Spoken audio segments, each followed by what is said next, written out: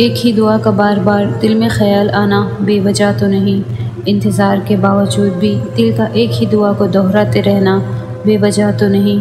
अल्लाह कोई भी ख्वाहिश दिल में यूँ ही नहीं डालता।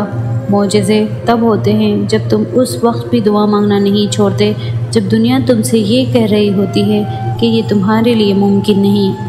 मोजे तब होते हैं जो दरवाज़ा तुमने चुना होता है, वो बंद नज़र आ रहा हो फिर भी तुम्हारे दिल को एक सुकून होता है कि रास्ता चाहे अल्लाह का चुना हुआ हो, लेकिन वो मंजिल तुम्हें तुम्हारी पसंद की देता है। जानते हो, ऐसा भी होता है। तुम तो भूल जाते हो अपनी सालों से मांगी हुई दुआ। मांगते मांगते थक जाते हो।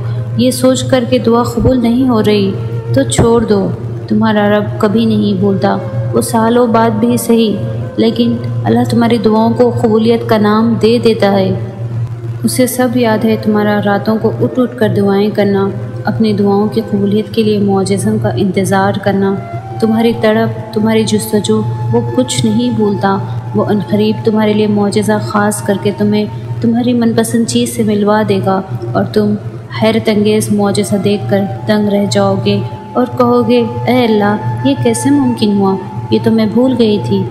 वो तो मालिक के मुआजात है खाल कायनत है। और मुआजे करना उसकी शान है। और मुआजे तो होते ही तब है, जब रास्ते दुशवार होते चले जाते हैं। लेकिन तुम्हारा अल्लाह पर तवक्ल तुम्हें गिरने नहीं देता, तुम्हें थामे रखता है। महसूस करो तो दिन में कितने ही मुआजे तुम्हारे साथ होते रहते हैं। कि तुम्हारी सांसों का बगैर तकलीफ़ के आ जाना मुआजा ही तो है। इन उड़ते हुए परिंदों को तो देखो, फ़िज़ा में किसने थाम रखा है। इनको ये मुआजा ही तो है। वो तुम्हें ठोकर देगा। सहारा भी तो अल्लाह ही देगा। वो तुम्हें तकलीफ़ देगा, पर दवा भी वही देगा। हर मामला अल्लाह पर छोड़कर आगे बढ़ जाओ।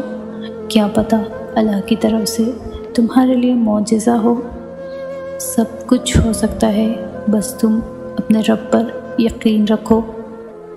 आने दो उसे जो अल्लाह के लिखे हुए नसीब से आ रहा है। शायद वही तुम्हारी रज़ा भी हो। तुम मांगते रहो। तुम मांगते रहो। हो सकता है जो तुम चाहते हो, वो इन दुआओं के बदले मिलना हो। जब अल्लाह को तुम्हारे मांगने का अंदाज़ पसंद आ जाता है, तब वो देने में ज़रा सी तख़ीर कर देता है, ताकि तुम्हारी आवाज़ उसे बार बार सुनाई देती रहे। अल्लाह बाप देर तो कर सकता है, लेकिन बंदे को मायूस नहीं कर सकता। जिन दुआओं का फ़ौर जवाब नहीं मिल रहा, देरी में जब का सिला भी तो हो सकता है। जो सब्र तुम अल्लाह की रज़ा के लिए कर रहे हो, वो इनाम में तुम्हारी चाह से नवाजा भी जा सकता है। मांगा है जो तुमने बड़ी चाह से ना मिला तो उससे बेहतर मिलना नज़र आएगा।